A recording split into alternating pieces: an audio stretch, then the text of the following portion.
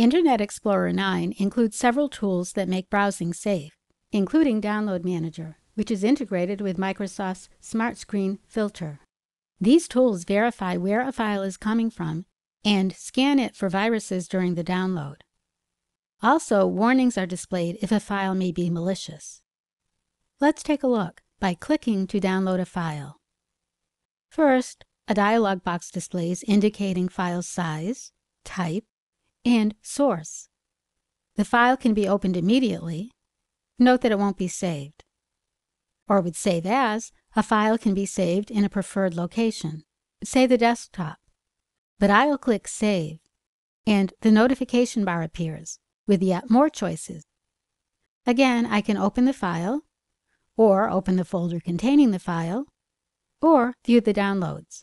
That's what I'll do. And Download Manager opens, displaying lots of information about my downloads, including the name, source, size, and folder where they're stored on this computer. Note that by default, they're saved to the Downloads folder.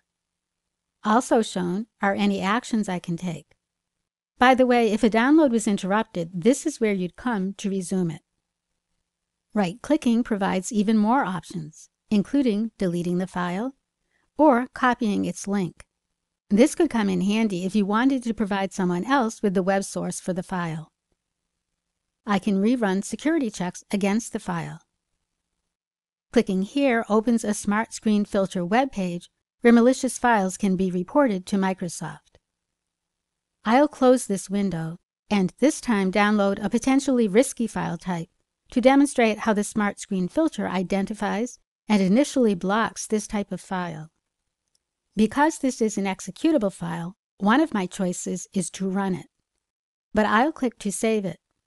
And this time I'm warned that this file could harm my computer. I can delete it or try some other actions. In this case, either deleting or not running the program.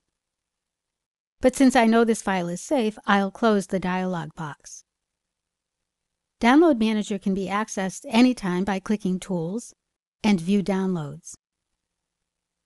Alerts about potentially harmful files are maintained, along with another opportunity to delete them, or to get back to the action options provided earlier. If your download list is really long, you can search for a file by typing keywords here. Be aware that Clear List only removes the files from this list. They remain in the folder where they were originally downloaded. Download Manager provides more controls and security over your downloads in Internet Explorer 9.